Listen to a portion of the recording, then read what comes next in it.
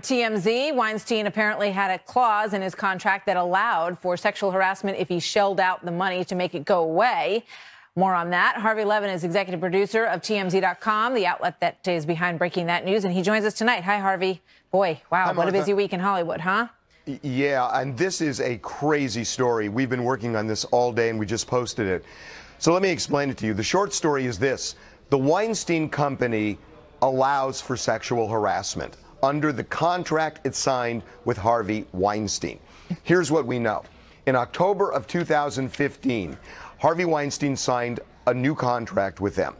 And under the contract, it says that if Harvey Weinstein gets sued for sexual harassment, for any other kind of misdeed, and the company has to pay the judgment or a settlement, Harvey Weinstein can make everything good by doing two things. Number one, he has to pay the company back for what it paid the victim.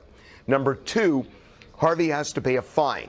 And the way the fine is structured, for the first time he has to pay a settlement, the first time the company has to pay, Harvey has to pay a $250,000 fine. For the second judgment or settlement, he has to pay a $500,000 fine. For the third, 750. For the fourth or any number thereafter, he has to pay a million dollars each time the company has to pay right. uh, a settlement or judgment for any kind well, of a sexual Well, let me ask you a question about settlement. that. How long did you say that that has been in place, that agreement? for two years. Okay, so, signed, so essentially for the last two years, Weinstein and Company has been uh, acknowledging that they absolutely know that this is going on.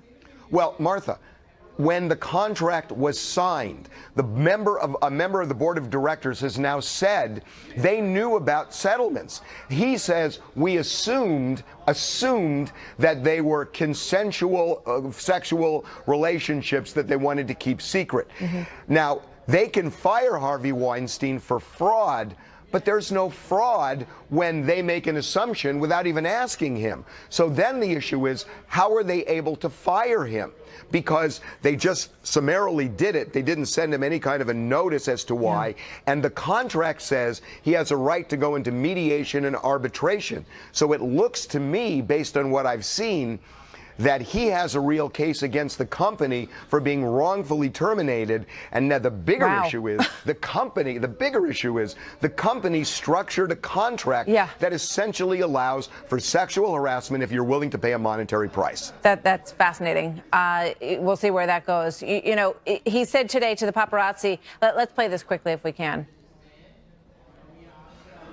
I've always been loyal to you guys, not like those treat you like I've been a good guy. Hmm. Trying to patch things up with the press, Harvey. Well, well, Martha, the irony to all of this is he had just said that he wanted a second chance, but to get a second chance, he's going to need a lot of the stars who have now come out against him, hoping that they'll come back to him. But he pissed them all off because he said those were the you know whats who were mean to the paparazzi. So he took a shot at yeah. the celebrities who he wants a second chance from into as he went into the car. Unreal. Harvey, great stuff. Thank you very much. Good to see you tonight. Oh, okay, Martha.